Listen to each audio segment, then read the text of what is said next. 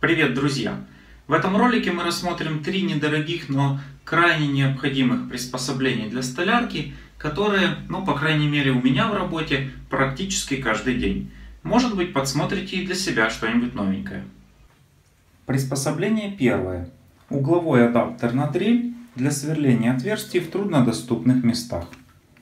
Вот этот вал зажимается в патрон дрели, дрель вращается, вращение передается на патрон нашего адаптера. Ручка съемная, она откручивается, при желании можно переставить на эту сторону.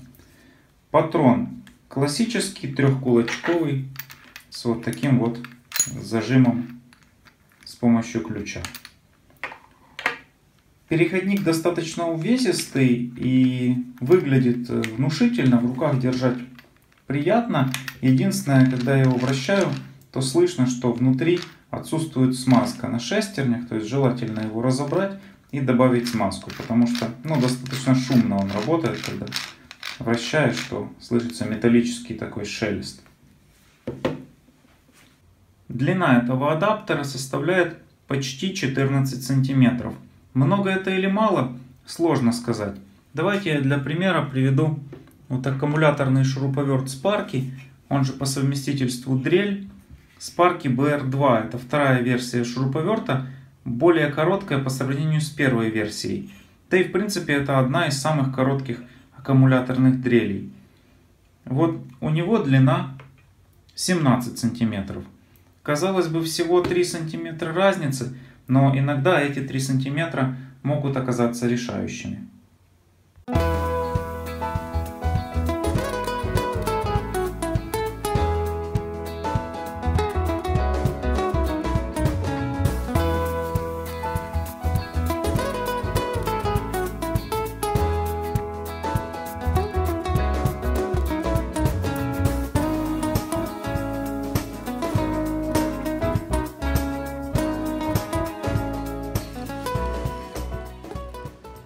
Как вы можете видеть, биений нет, патрон отцентрован очень хорошо.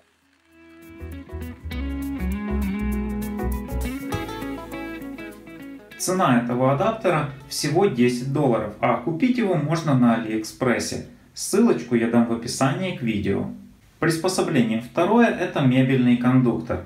Незаменимая штука при изготовлении мебели из ДСП. Мебельный кондуктор позволяет сверлить отверстия в соединяемых DSP панелях и гарантирует то, что эти отверстия будут совпадать. Для сверления в торец вы одеваете кондуктор таким образом. Тут у него имеется упор и сверлите отверстия.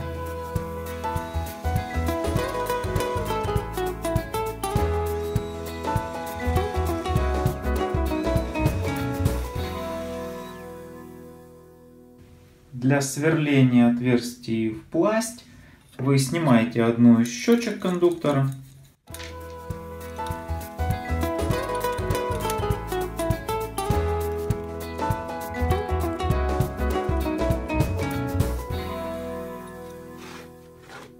И прикладываете его вот так.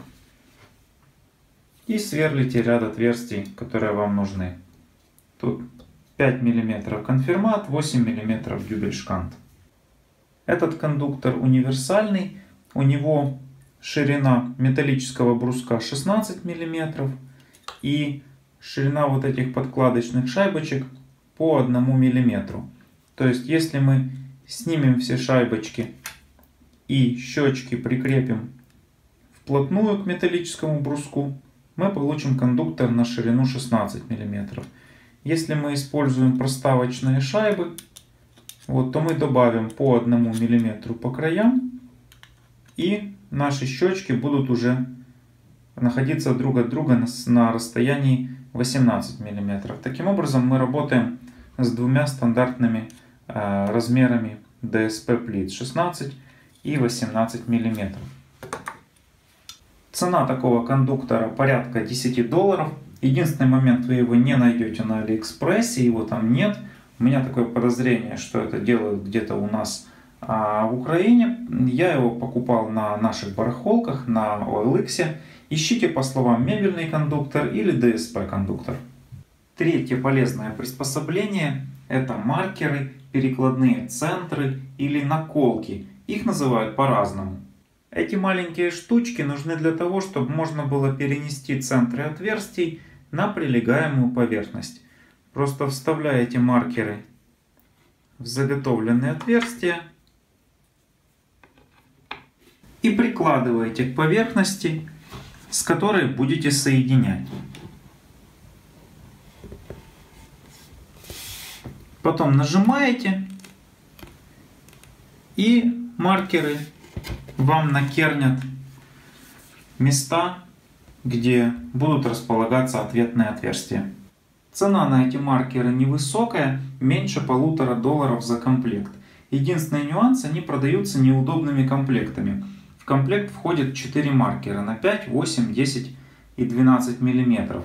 И мне не удалось найти предложение, где можно было бы купить только восьмерки. Поэтому ну, я в своей работе использую только восьмерки. Поэтому я купил 4 набора и из них выбрал маркеры на 8 мм, которыми пользуюсь. Остальные просто лежат. Но цена невысокая, поэтому в принципе можно себе такое позволить.